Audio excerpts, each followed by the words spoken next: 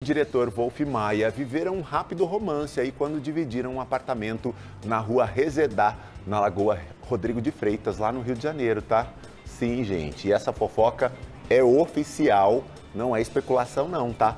Os detalhes todos estão na biografia do Nanini, intitulada O Avesso do Bordado, que será lançada amanhã, 1 de fevereiro. É, você viu? Né? Na obra, o ator compartilha histórias da própria vida com a jornalista Mariana Filgueiras. É, a Nanini foi morar com o Wolf Maia a convite do próprio diretor e da atriz Zezé Mota. Todo mundo conhece a Zezé também, né? Uhum. Que tinham acabado de alugar um apartamento. E o, e o imóvel ficou, ficou conhecido como República Resedá e também acolheu outros amigos do artista.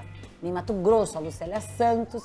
E no livro A República Resedá é descrita como um lugar de festa. É. O apartamento era decorado com poucos móveis e a maioria dado por familiares. Acho que vai contar muita coisa nessa biografia. E a vizinhança deve lembrar bem, né? Também quem foi, acho. Quem foi vizinho do Nanini na rua Resedá na época não deve ter esquecido até hoje. Devia ser um fervo. Ah, não devia! é?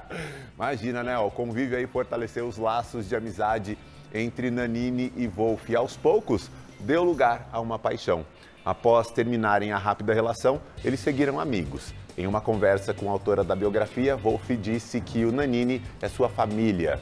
Marco Nanini é casado com Fernando Libonati há 30 anos, mas a relação é aberta, tá? Os dois decidiram que seria assim em uma viagem a Barcelona. Quando Nanini queria ficar em casa, Libonati preferia ir para uma balada. A biografia traz informações que, segundo Nanini, nem ele mesmo lembrava.